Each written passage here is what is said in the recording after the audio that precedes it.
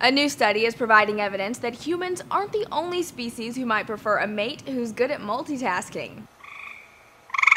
A study from the University of Minnesota took a look at female gray tree frogs and their preferences for types of calls made by their male counterparts. The study examined just how long and how often male frogs could make their calls. After listening to more than 1,000 calls, scientists found the frogs that made long mating calls can only do them in short rates. And as WCCO reports, it's hard for the male frogs to make long calls and do them more often, but female frogs seem to prefer males that can overcome the difficulty. The study's lead scientist said the findings support her hypothesis that females prefer a mate who can handle multiple scenarios at once, including long calls more times a minute.